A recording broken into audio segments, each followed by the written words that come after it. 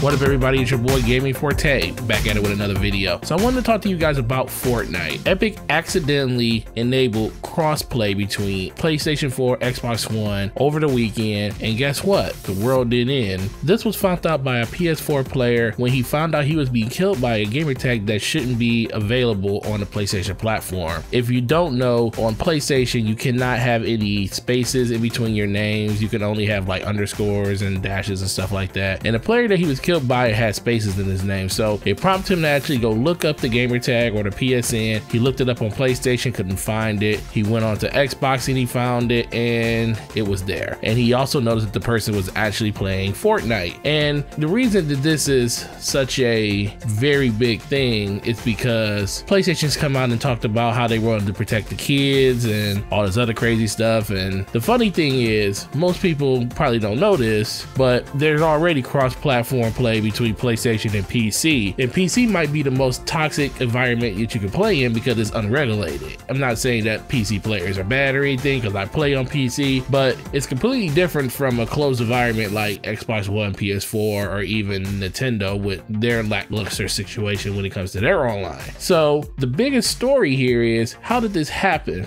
Well, I have a theory. Mine is mostly the fact that they just released this battle royale mode for Fortnite. They see the success that PUBG is having. A lot of people are going to be just completely ripping off PUBG from now on because any game that has this many concurrent users and breaking all these records and 10 million sold over the last five to six months is bound to just get copied and duplicated as much as it can be. But the thing is, I believe this happened on purpose. Any publicity is good publicity. That's how I look at it. And the fact that this game had this game mode announced and then all of a sudden over the weekend where it actually just rolled out, you accidentally turned on crossplay, I don't buy that. I feel like this puts Fortnite in the mindset of a lot of people out there that probably didn't even know about the game to actually want to say, well, wow, let me go check out this game. You know, the fact that it was the first game that had like limited crossplay over the weekend. It also brings up the conversation on how easy it is to implement cross-play. Now, there was a couple developers that came out and said that, hey, we could just turn it on with a flip of a switch. That's what Rocket League developer said. You know, it's just right there. We just hit the button and it turns on, which is something that a lot of people didn't believe was 100% accurate. It's got to be more to it. But this might just seem to be the fact that it might actually be the case. And if that is the case,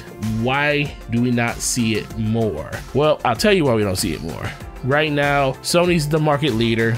They don't want to give any type of leeway to Microsoft or anybody else. Why do that when you can actually just hold people hostage to your one system? Now, Microsoft did this ever so long ago, and I understand that they had the same situation when it came to crossplay with games from PlayStation 3, and Xbox was the market leader then but that was a completely different regime. We got Phil Spencer, head of Xbox. Actually, he's the VP of gaming now. Congratulations on that promotion, sir. And I think he is more in tune with what gamers want today. Phil Spencer is a gamer. That's why I don't think it's very valid for the people to keep saying that, well, Microsoft didn't do this last generation, so why should Sony do it? Well, I just think that Microsoft is in a better situation to want to actually do things like this. They find the value in what the actual patrons want, what their consumers want from their system. And if they do that, then they know they'll get more sales. So this will really come into fruition over the next couple of years when the next platforms come out and where there's really no advantage for any system. And we'll see if Microsoft and Sony can actually button down the hatches and make this happen with the next iteration of systems. Because I don't think it's going to happen this generation.